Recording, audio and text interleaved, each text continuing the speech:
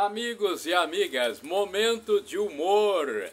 Nos meus endereços telemáticos você acompanha o blog repórter paulomaciel.blogspot.com, facebook.com.br Paulo Maciel, da rádio, endereço geral, Paulo Roberto Maciel Maciel, ou arroba Paulo Roberto Maciel, Maciel 7919. Momento de humor rapidinho, né? Humor familiar, humor para todos, não, não tem proibição alguma. É, dê o exemplo de dígrafo. Na sala de aula, a professora pergunta: atenção, dê um exemplo de dígrafo. Aí chama lá o, o, o aluno. É, Manuelzinho, exemplo de dígrafo. Aí ele, dígrafo, professor. Ah, já sei. Dígrafo com quem andas e te direi quem és. ah, dígrafo com quem andas e te direi quem és. Ah, ah, ah não, você não, não, não acertou, não.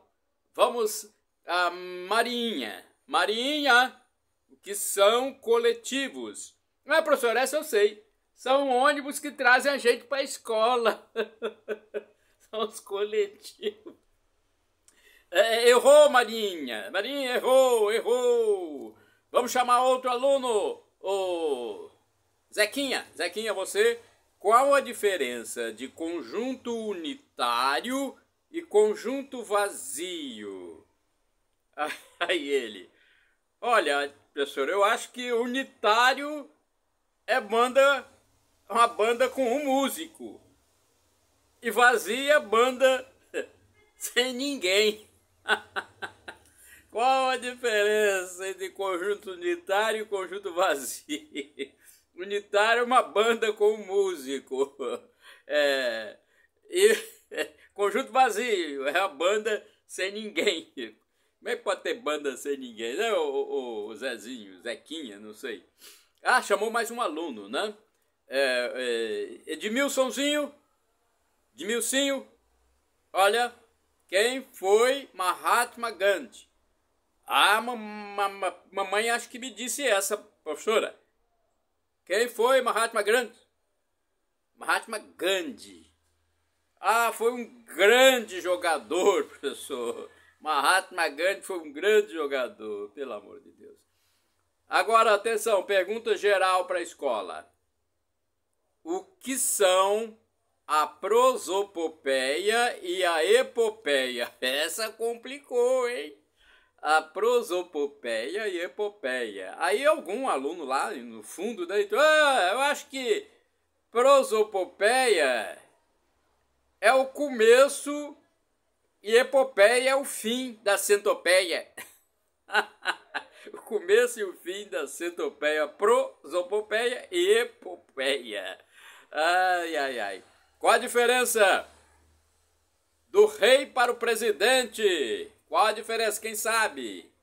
Aí a Marianinha respondeu lá: Eu sei, professora. É que o rei é filho do pai dele e o presidente não é. Pô, a resposta é. não, tem um fundo de verdade, né? Não pode dar zero, não. É, qual foi o nome é, do apóstolo traidor?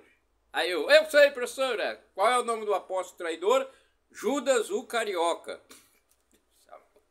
Pelo amor de Deus. Nota zero na, na religião para esse. Na aula de religião para esse aluninho, hein? Judas o Carioca, pô. Puxa vida.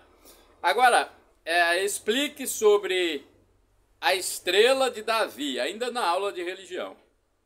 A estrela de, de Davi, professora, foi aquela que guiou. Olha, tá acertando, hein? Foi aquela que guiou. Vai, vai para tirar nota 10. A estrela de Davi foi aquela que guiou os reis magros. os reis magros. Não, é os não são os reis magos, não, são os reis magros. Ei.